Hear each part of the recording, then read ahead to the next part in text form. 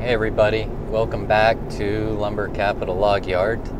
Today we are going over to the forestry department of our local college to pick up some logs and bring them back to our log yard to run on our lumber mill because I think their lumber mill may be uh, broken right now, so they're waiting on some parts. Anyhow, uh, let's get into the video.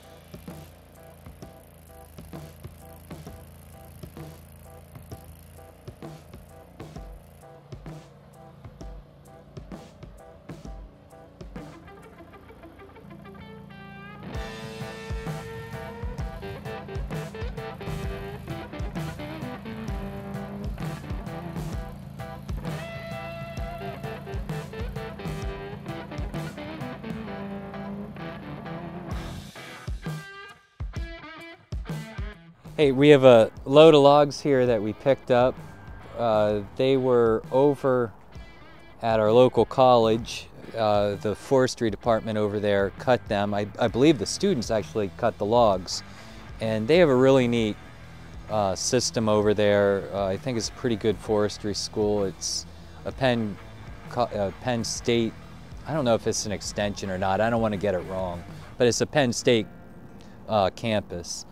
Eh, with a pretty good forestry department. Anyhow, uh, they uh, just put in a beautiful Wood-Mizer mill.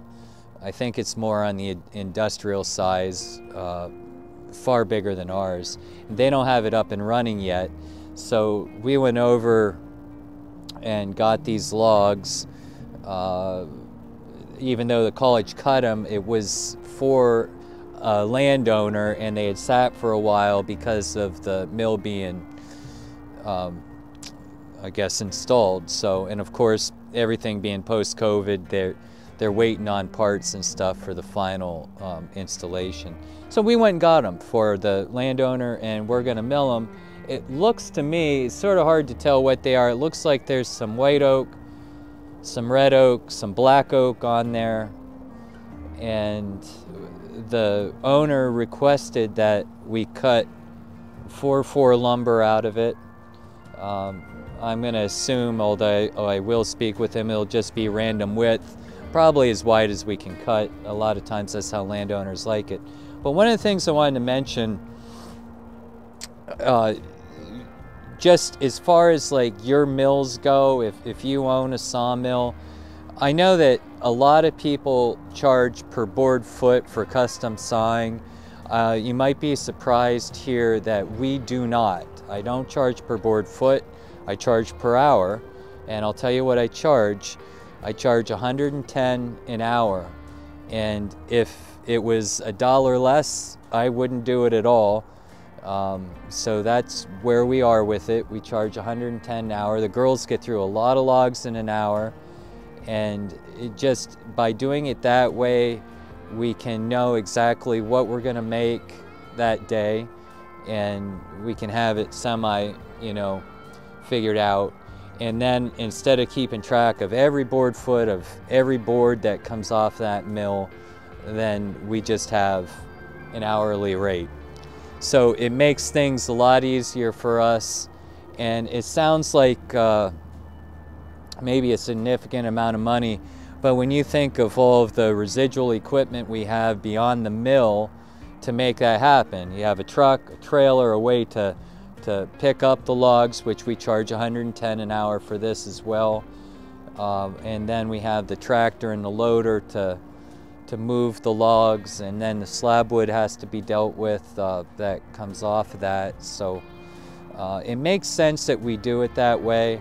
I know that some Wood-Mizer owners, uh, the landowners will actually physically help them uh, to keep the costs down.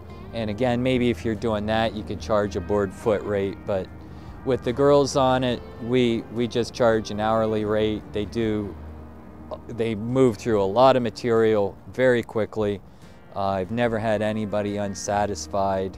I'm gonna guess the amount of logs that we have here uh, we could easily do in two hours on the mill and there's probably a thousand board feet so you guys can figure out the math on that.